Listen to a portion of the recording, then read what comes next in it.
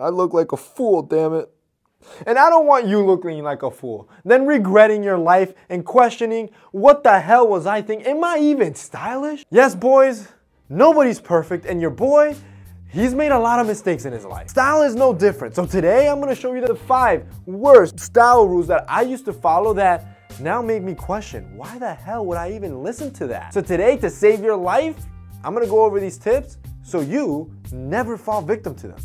Let's hop into Number one, the dreaded skinny jeans. Yes, I, I, would wear skinny jeans. Skinny jeans to the point that you could see printing. And it wasn't my phone. That is uncomfortable, not just for the wearer, but for the people that are looking at you. Men, we're not supposed to be wearing jeans that look like leggings. Jeggings, they have no room in a man's wardrobe. And the biggest issue that I would have and why I would wear them is because I wanted that tapering at the bottom, like every guy does, because you want to show off your sneakers or your shoes you're wearing. But now that I've gotten older, the truth is you don't need to be wearing skinny jeans. You wearing a slim cut or a straight cut is more than enough and all you need to do is get the bottom tailored with by your tailor and just taper from the knee down. This is gonna give you that tapered effect you want without actually constricting your quad. Number two, perfectly matching your belt to your shoe. Like, unless you wanna look like your mommy dressed you, you don't gotta follow it. I was the dude that was reading the GQ magazines back in the day and would literally take my belt when I was going shoe shopping to make sure I got the same shade. Not only is that stupid, it's impractical. Truth is, being off by a couple shades, no one's gonna notice and you're gonna look just as good. And I'll take it a step further. If you have Anson belts, then you probably have a little bit of fun like I do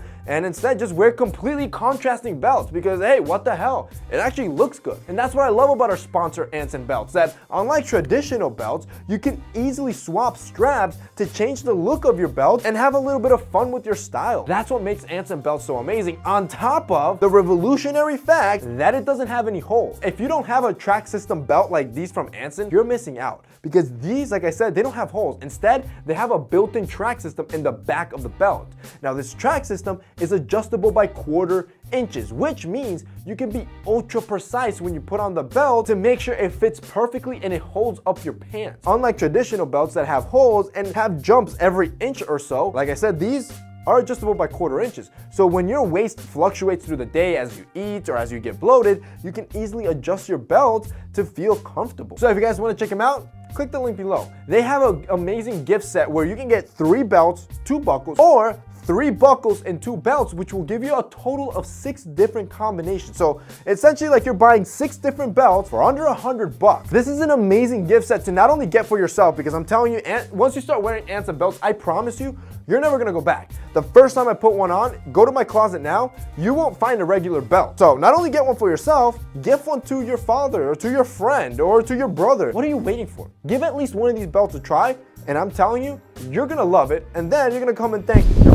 Three, wearing dress shoes without socks. And yet, I was an idiot, and I, I, was the idiot that was reading GQ magazine. I was so GQ that I won GQ's first ever How GQ Are You competition, but now that I look back at it, I'm like, damn, I suck. Because who in their right mind would wear such a formal shoe without socks? That that looks that looks messy. And I used to do it all the time. Now I know how ridiculous it looks. But if you're wearing that with obviously casual sneakers or loafers, that looks good. Your man ankles with a casual sneaker, that's perfect. But when the menswear trend was raving back in the day, like three, four years ago, the trend was don't wear socks with anything. Thom Browne used to do it all the time, and well, why shouldn't I do it? Now I see why. When you're wearing dress shoes, you want to look as formal as possible, so always wear socks. And also, don't wear the childish happy socks. Fourth bad style rule that I would always follow never wear brown and black together or black and blue together. For some reason, these two colors could never match up. At least that, those are the rules that people would tell you. But as your style know-how increases, you start realizing there's so many different shades between these two colors that when you start playing with them,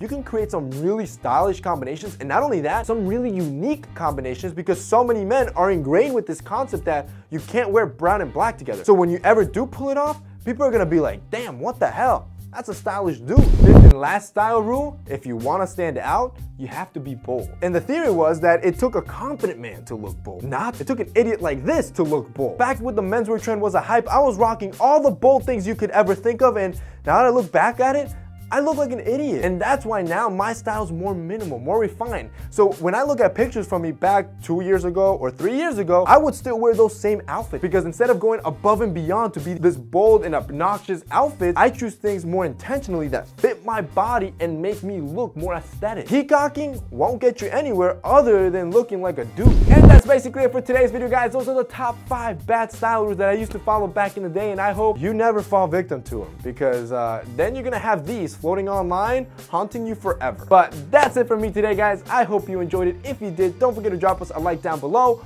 Also, don't forget to check out our sponsor, Anson Belts. If you guys want to check them out and cop some belts, there's going to be a link down below as well. That's it for me today.